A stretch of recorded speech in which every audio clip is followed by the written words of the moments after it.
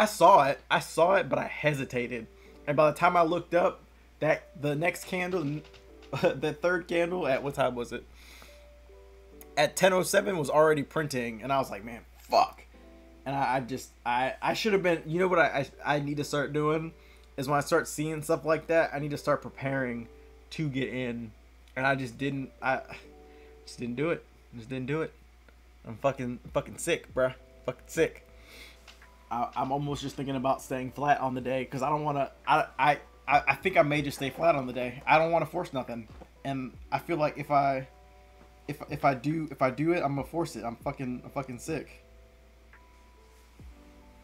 What's going on, everyone? Today, you saw a true battle of my emotions because I missed out on a great trade setup that I knew I had called out. I knew it was going to play out so well, and it was super frustrating because I let hesitation and fear get the better of me on that one. You have to understand, I've been on a three day win streak, and it's just been take trade, win trade, walk away. I know without a shadow of a doubt that a loss is coming. It's going to happen. It happens to everybody. Eventually, I'm going to lose and if you don't lose, then you're not a real trader. What's important is how you handle those losses. One, not going on tilt, and two, being on risk management. On the opposite side of that, the fear and hesitation that I had could have also prevented me and made me actually lose. So it's a double side, a double edged coin to the emotions. And I had to deal with them today, especially because to be perfectly honest, after I missed that trade, I really wasn't going to trade again. I saw another trade setup, I saw what I liked, and I took it. I did still hesitate, so I still have that problem. We all have problems. We all have to work through our emotions, but the first step of beating your emotions is understanding that your emotions are there. Once you can understand that your emotions are there, whatever emotion it is, whether it's fear of losing, fear of missing out, hesitation, going on tilt, or what, whatever you're dealing with emotionally, the first thing you want to do is be able to identify that real time before it gets out of control. Then once you're able to identify it, then you handle it. So I think one really good way of handling your emotions is being able to talk them out and actually letting those emotions out. I felt so much better once I let those emotions out and then I was able to refocus myself, find another good trade setup and capitalize on that setup. The only other issue that I had today was actually managing my trade. My trade management on the trade that I actually took was pretty poor. Yes, I got a two to one, but I left so many points on the table. What was a $570 day could have been a $1,200 day. Some things we got to clean up. Not always perfect, always trying to get better, always working hard to be the best trader I can, and y'all are along for the ride with me. But now let's go ahead and let's hop into my pre-market plan and what I was looking at for the day. We are here on the four hour chart, and I want to take you on this higher time frame real fast because I want to show you kind of how I came up with my levels and my analysis and what I was looking on for the day. So back over here on July 19th, we made our highest high of the previous run up that we had. And then we started to sell off, right? We finally found buyers down here. We came back up and then we found buyers again. And then we came up, we kind of pulled back into this area and then we came all the way back up here and we made a lower high from right here. We never got back up to test this high. So to me, the Bears are pretty much in control of the market as long as we can break down below here. This is kind of the first swing that I was looking for us to break through. This was really important on the day. So what I was looking at is I was looking for uh, NQ to come down into this three hour demand zone and potentially have a bounce, right? And long down here. Or for us to have a bullish activity uh, right at open and have this one hour rejecting, which we're currently at right now, or this three hour supply zone where uh, we could also potentially reject, but I didn't think we would get any higher than that. But I was also looking at ES. So if we look at ES over here, we were in a very important spot on ES.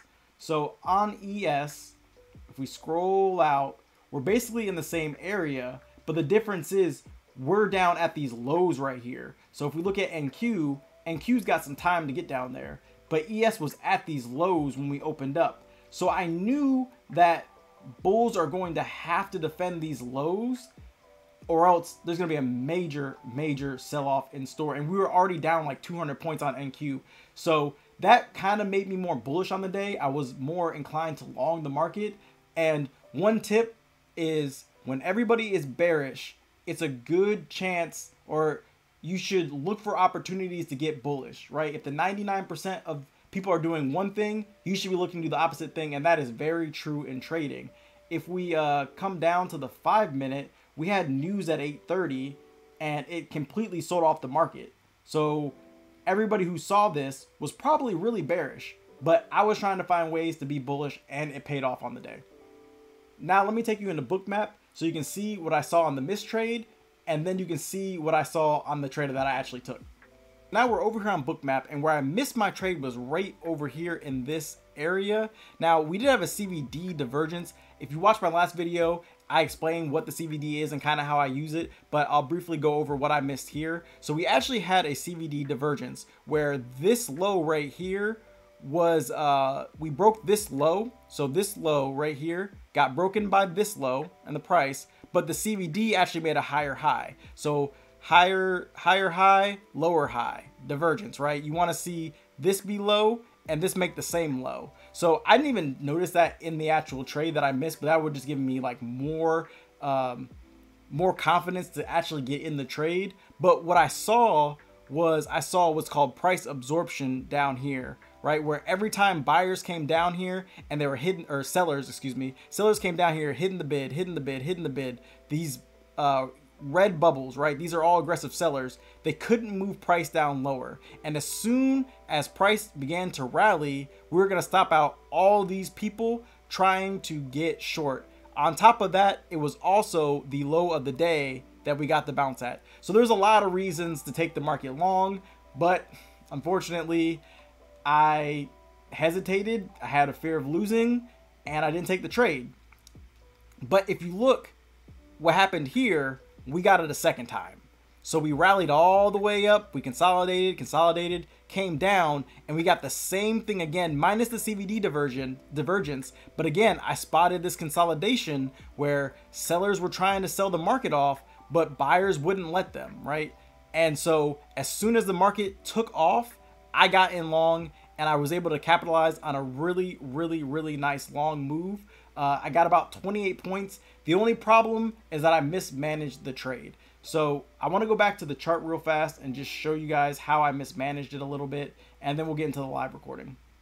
All right, so we're back over here on the charts, and I got in right about here, which you'll see on the live recording, and what I did wrong, what I messed up on, is how I managed this trade. I should have been moving my stop loss up with the lows of the candles. So I'm trying to find my, my pen tool over here. I know it's it's somewhere. Where is that? Where's that stupid pen tool at? There it is. The brush. Okay, so I got in about right here. And what I should have been doing is every single candle close, I should have been moving my stop up, moving my stop up, moving my stop up. And I never would have gotten stopped out of this trade until, you know, I got up here, right? And I would have caught a massive move to the upside. But instead, again, that fear kicked in and it really hurt me on the trade. Now, the other thing that I could have done as well is I could have drawn a trend line uh, as we were pushing up here and said, okay, if we break this trend line, I'm getting out. And I would have still gotten out around the same price, right? Probably once we broke down here, I probably would have looked to get out. Plus, we had these upper wicks, so it would have been a good time to get out. But like I said, I mismanaged the trade, but this is what it's all about. It's all about going back reviewing your trades, seeing what you did right, seeing what you did wrong, seeing how you can improve so that way you can really, really capitalize and make the most amount of money possible when you're in these good high quality setups. All right, let's get right into this trade. This could be the uh this could be the the the higher low put in for longs. this could be the higher low put in for longs. I ain't gonna lie.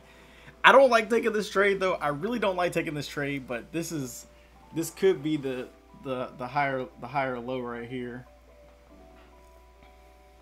All right, I'm go I'm gonna go long. Uh, this is this is probably a really bad. Oh no, I don't have my brackets on. Fuck. How do you put brackets on?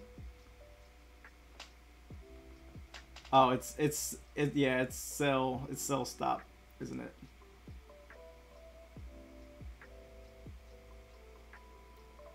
Amen.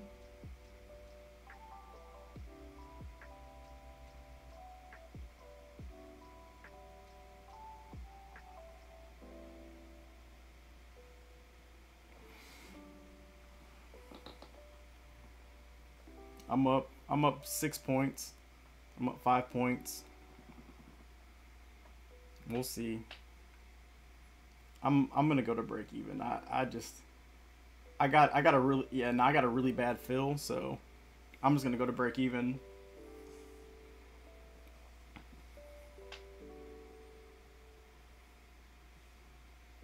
I'm up 10 points. Should be up more. Hesitated. I've been hesitating. Yeah, the Hezi game has been on point, bro. The Hezi game has been such on point right now. But I'm up 20. I'm up I'm up Damn. Damn. Damn. Oh my god, this shit rocket shipped.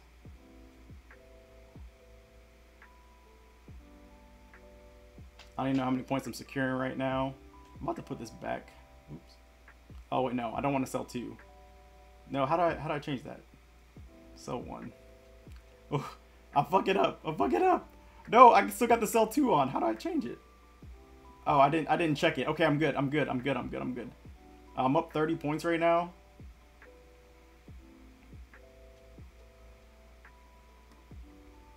I did. I did. Shut up. Bro, I was sick. I'm still sick, bro. I'm still sick.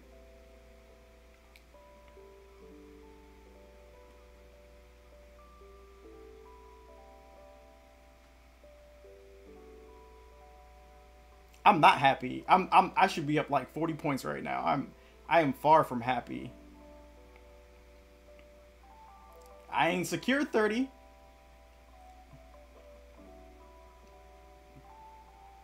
Oh, uh, because I'm I'm trailing up my stop.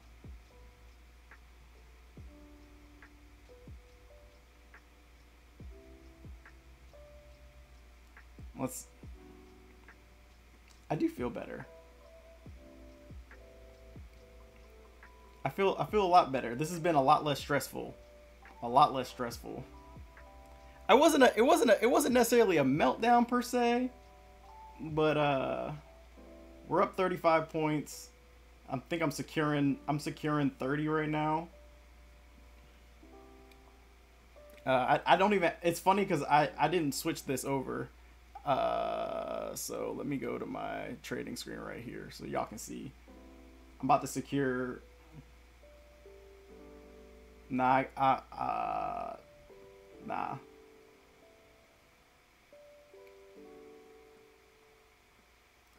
I'm about to get ticked out. I'm about to get ticked out. I'm about to get ticked out. I'm about to get ticked out. All right, ticked out. 20. I got, I got to. Oh, no! No! I got ticked out and then it went ham. Oh, that's so unfortunate. That's so unfortunate. Nah, I secured 570. I secured 570. I'm cool with that. Fuck, man. Nah, we, we, we definitely done on the day. 570 done on the day.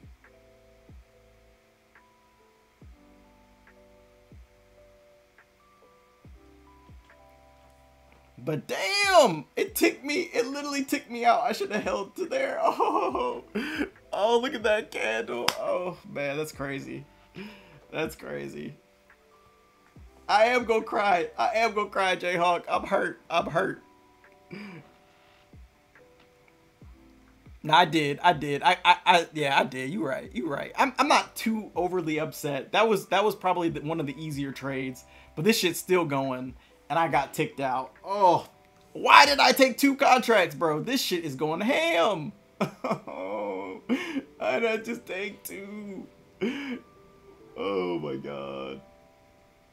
I did, and I forgot my brackets too, bro. I was, I was, I was scared, bro. I was scared. I, I get scared when I forget my brackets. But god damn, this shit ripping. Oh, I caught a great long. Oh, oh, oh my god, I caught a fucking amazing long. That that hurts. That hurts. Um. Damn, y'all. Damn.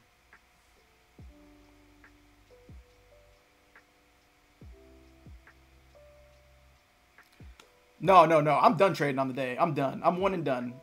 I four 400 to 600 is like my goal on the day. And uh, I'm I'm I'm up uh 51,000. Uh, matter of fact, I got to show my my thing for for the YouTubes. Hey, what up y'all? I'm up Uh, that was 570 on that trade, up $51,489 on the account. So, very, very good. Very good. But this trade is still going. It's not done. It's not done. I could have got 60 on this bitch. oh, I could have got 60. God damn, I'm so upset with myself. I could have held. It's okay though because that that trade was repeatable as hell.